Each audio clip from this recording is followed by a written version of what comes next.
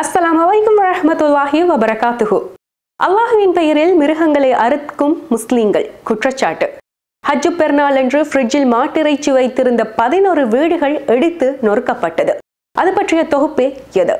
சர்வதேச ரீதியில பெரும்பாலான நாடுகள்ல கடந்த பதினாறாம் தேதி ஞாயிற்றுக்கிழமையும் இலங்கையை பொறுத்த வரைக்கும் கடந்த பதினேழாம் தேதி திங்கட்கிழமையும் ஹஜ் பெருநாள் கொண்டாடப்பட்டது.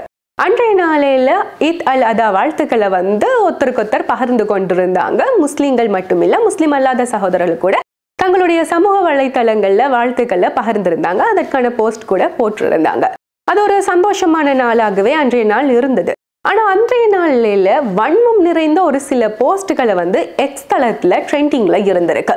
அது ட்ரெண்டிங்ல இருந்தது அப்படிங்கிறத விட திட்டமிட்டு ட்ரெண்ட் ஆக்கப்பட்டிருக்கு அப்படின்னே சொல்லலாம். ஹஜ் பெருநாள் இதை வந்து இந்தியாவில் பக்ரீத் பண்டிகை அப்படின்னு சொல்லுவாங்க இது வந்து முஸ்லிம்களுடைய ஒரு தியாக திருநாளாகத்தான் கொண்டாடப்படுது. இஸ்லாத்தினுடைய வரலாற்றை எடுத்து பார்த்தோம் அப்படின்னா இப்ராஹிம் நபி அவர்கள் வந்து அவங்களுடைய வாழ்க்கை முழுவதுமே அல்லாஹுக்காக பல தியாகங்களை வந்து செய்திருக்காங்க. அந்த தியாகங்களை கண்ணியப்படுத்தும் விதமாகவும் அந்த தியாகங்களை நினைவுபடுத்தும் விதமாகவும் தான் இந்த ஹஜ் பெருநாள் வந்து உலக முஸ்லீம்களால் இன்றளவிலும் கொண்டாடப்பட்டு கொண்டு இருக்குது இப்ராஹிம் நபி செய்த தியாகங்கள்ல ஒன்றாகத்தான் இந்த குர்பான் கொடுக்கிற விஷயமும் இருக்கு. அதை நினைவுபடுத்தி தான் ஒவ்வொரு ஹஜ் பெருநாளைக்கும் குர்பான் கொடுக்கப்பட்டு கொண்டிருக்கு. இது முஸ்லீம்களுக்கு கடமையாகவும் இருக்கு. அப்படி இந்த ஹஜ் பெருநாள் நேரம் குர்பான் கொடுக்கிற நேரத்துல தான் இந்த போஸ்ட் வந்து ட்ரெண்டிங்ல விடப்பட்டிருக்கு எக்ஸ் தளத்துல. அதாவது வந்து முஸ்லீம்கள் அல்லாஹினுடைய பேரை சொல்லி மிருகவதை செய்கிறாங்க மிருகத்தை கொண்டு பழியிடுறாங்க இந்த மாதிரியான கருத்துக்களை வந்து சமூகத்துல திணிக்கிறதுக்காக இந்த மாதிரியான ஒரு போஸ்ட்டை வந்து அவங்க ட்ரெண்டிங்ல விட்டுருக்காங்க.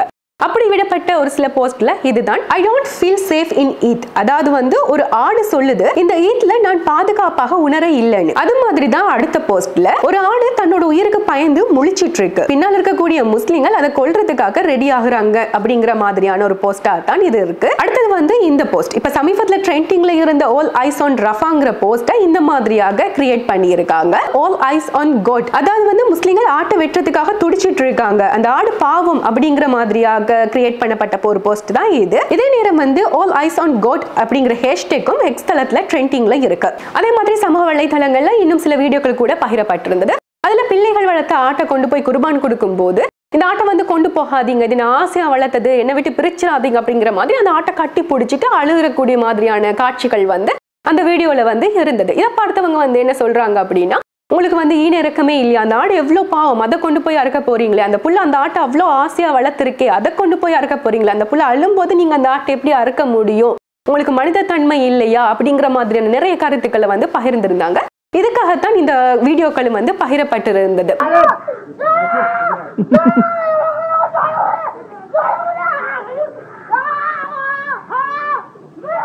உண்மையிலே இந்த மாதிரி போஸ்ட் போடுறவங்களுக்கு மிருகங்கள் மீது அன்பு இருக்கு அக்கறை இருக்கா அப்படின்னா இது வந்து அவங்க முஸ்லிம்கள் மீது இருக்கக்கூடிய வன்மத்தை வெளிப்படுத்தக்கூடிய ஒரு சந்தர்ப்பமாகத்தான் பயன்படுத்தி இருக்காங்க இந்த மாதிரியான போஸ்ட்டை வந்து சமூக வலைதளங்கள்ல போடுறதுனால இதை பார்த்துட்டு முஸ்லிம்ஸுக்கு கோபம் வரும். அந்த கோவத்துக்கு அவங்களும் அவங்களுடைய கருத்துக்களை வந்து பதிவு செய்வாங்க. அதுக்கு பதில் இவங்க கருத்து சொல்லுவாங்க. இப்படி சமூக வலைதளங்கள்ல ஒரு வாக்குவாதம் ஏற்படும். அது அப்படியே களத்திற்கு வரும். அந்த களத்திலிருந்து அப்படியே அடித்தடியாகி சண்டையாகி அது ஒரு மதக்கலவரமாக மாறும். இதன் மூலமாக ஒரு அரசியல் லாபத்தை பார்க்கலாம் அப்படிங்கிற ஒரு நோக்கத்துக்காகத்தான் இது வந்து செய்யப்பட்டிருப்பதாகவும் பார்க்கப்படுது. ஹஜ் பெருநாள்னு சமூக வலைத்தளங்கள்ல இப்படியான ஒரு விஷயம் போய் கொண்டிருக்க இன்னொரு பக்கம் இந்தியாவில் மத்திய பிரதேசம் மாட்ஸ்லா பகுதியில பதினோரு முஸ்லீம்களுடைய வீடுகள் புல்டோசரால எடுத்து நொறுக்கப்பட்டிருக்கு.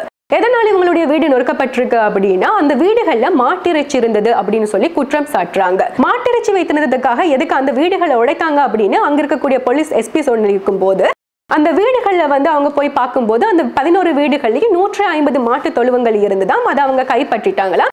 அதே மாதிரி வீட்டுக்குள்ள போய் பார்க்கும்போது வீட்டு ஃப்ரிட்ஜில் வந்து மாட்டு இறைச்சி இருந்தது. அதையும் நாங்கள் கைப்பற்றிட்டோம். ஆனால் அதுக்காக வீட்டு உடைக்கையில் வீட்டை எதுக்காக உடைச்சோம் அப்படின்னா அந்த வீடுகள் வந்து அரசுக்கு சொந்தமான காணிகளில் இருந்தது. அதனால தான் அந்த வீட்டை வந்து புல்டோசரை கொண்டு உடைச்சி தகர்த்துட்டோம் அப்படின்ற மாதிரி சொல்லி இருந்தாரு இந்த காரணங்கள் வந்து ஏற்றுக்கொள்ளக்கூடிய மாதிரி இருக்கா அப்படிங்கிறது வந்து இப்போ அங்கே ஒரு சர்ச்சைக்குரிய நிகழ்வாகவே மாறி இருக்கு இந்தியாவை பொறுத்த வரைக்கும் முஸ்லிம்கள் தான் இந்த மிருகங்களுடைய இறைச்சிகளை சாப்பிடக்கூடியவங்க இந்த மிருகங்களை வந்து வதை செய்யக்கூடியவங்க அப்படிங்கிற மாதிரியான கருத்துக்களை அடுத்தடுத்து திணிச்சு கொண்டே வராங்க.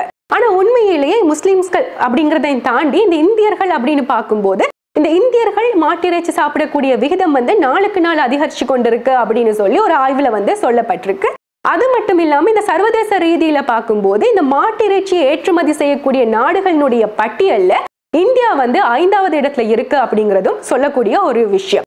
இப்படி மாட்டிறைச்சி வந்து அவங்க சாப்பிட இல்லை மாட்டிறைச்சி வந்து முஸ்லீம்கள் தான் சாப்பிட்றாங்க மிருகங்களுக்கு அநியாயம் செய்கிறாங்க அப்படின்னு சொல்லக்கூடிய அந்த அரசு தான் இப்போது மாட்டு இறைச்சியை ஏற்றுமதி செய்து அதன் மூலியமாக ஒரு லாபத்தையும் பார்த்து கொண்டிருக்கு. அவங்க நாட்டில் சாப்பிடுறது ஒரு சமயம் ஒரு மதம் சார்ந்தவர் சாப்பிடுறது ஒரு பாவமான செயலாக இருந்தால் அதை ஏற்றுமதி செய்வதும் அதை வந்து மூலம் லாபம் காணுவதும் என்ன மாதிரியான ஒரு செயல் அப்படிங்கிறது வந்து நீங்க சிந்தித்து பாருங்க. உண்மையிலேயே இந்தியாவை பொறுத்த வரைக்கும் அங்க இருக்கக்கூடிய மக்கள் வந்து இந்த இனம் மதம் மொழி எதுவுமே பார்க்காம ஒரு சகோதரத்துவத்தோட பழகக்கூடியவர்கள் தான். ஆனா அங்க இருக்கக்கூடிய ஆட்சியாளர்கள் இந்த அவங்களுடைய அதிகாரத்தை தக்க வைத்துக் கொள்றதுக்காக இந்த மதத்தை இனத்தை வந்து ஒரு ஆயுதமாக பயன்படுத்தி இந்த மதக்கலவரம் இனக்கலவரங்களை ஏற்படுத்தி அவங்களோட ஆட்சியை தக்க வைத்துக் கொள்ள வேண்டும் அப்படின்னு பாக்குறாங்க அப்படியாகப்பட்டதுதான் இந்த ஒரு சம்பவமும் இந்த நிகழ்வும். ஆஹ் இதற்கெல்லாம் விடை வந்து இதற்கெல்லாம் தீர்வு வந்து ஆட்சியாளர்களுடைய கையில தான் இருக்கு. ஆனா அது நடக்குமா அப்படிங்கிறது கேள்விக்குறி. நான் ஃபாரிகா ஃபைசல். இன்ஷா அல்லாஹ் இன்னும் ஒரு தொகுப்பில் சந்திக்கலாம்.